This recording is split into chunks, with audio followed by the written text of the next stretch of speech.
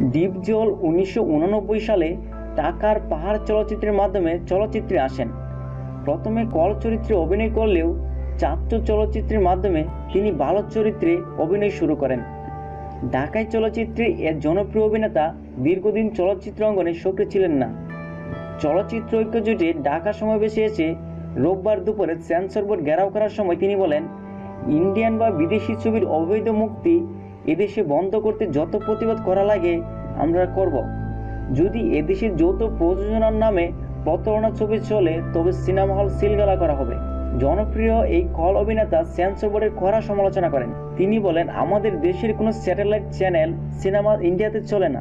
তাহলে এদেশে Indian channel ছবি কেন চলবে?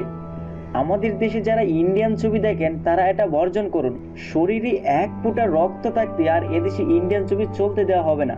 ডিপজল বলেন, সেন্সর বোর্ডে যারা আছেন, তারা আমাদেরই মানুষ। তারা যে কাজ করেন, সেটা খুব একটা ভালো কাজ করছেন না। এর দায় তাদেরই নিতে হবে। ডিপজল বলেন, টাকা খায় মানুষ। কিন্তু সেন্সর বোর্ডের সদস্যরা যেভাবে টাকাকে অনিয়ম করছে, সেটা খুব খারাপ করছে।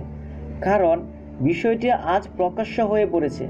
সবখানে বলা বলি হচ্ছে, অর্থের বিনিময়ে রাষ্ট্রের নিয়ম ভঙ্গ করা ছবিগুলোকে দিনের পর দিন চার চারপত্রে দিয়ে চলেছে সেন্সর বোর্ড। বক্তব্য শেষে এই অভিনেতা সেন্সর বোর্ডের ভেতরে প্রবেশ করেন। এদিকে শোনা যাচ্ছে শীঘ্রই আন্দোলনকারীদের সঙ্গে জরুরি মিটিংয়ে বসবেন তথ্যমন্ত্রী হাসানুল হক ইনু। পরবর্তী আপডেট পেতে প্লিজ সাবস্ক্রাইব মাই চ্যানেল